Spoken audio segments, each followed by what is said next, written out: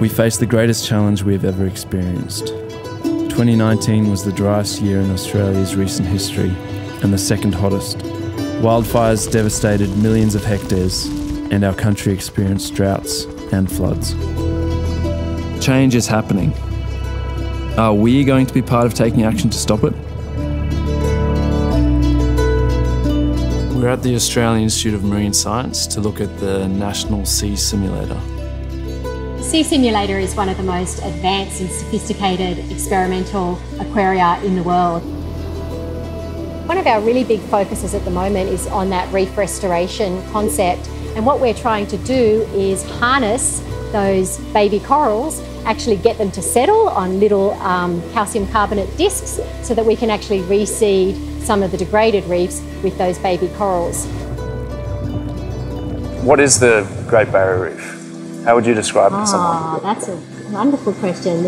I would describe the Great Barrier Reef as the most incredibly biodiverse and complex ecosystem that is just so important for our Australian identity.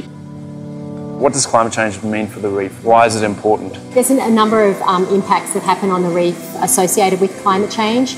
Probably the two of greatest concerns are that our ocean temperatures are rising, cyclones are becoming more intense, which causes damage to the reef, but really that ocean warming mm. is the, the single factor that's caused so much damage to the reef mm. over the last few years. What needs to be done?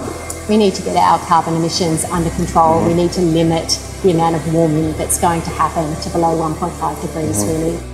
And what we're doing here um, at the Australian Institute of Marine Science is we're undertaking a lot of research to uh, in the area of coral aquaculture to see if we can produce at scale enough hardy corals to be able to reseed some of the degraded areas.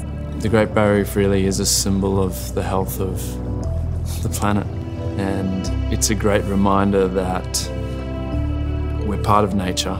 If nature goes down, we go down with it. These are just some of the problems we're facing.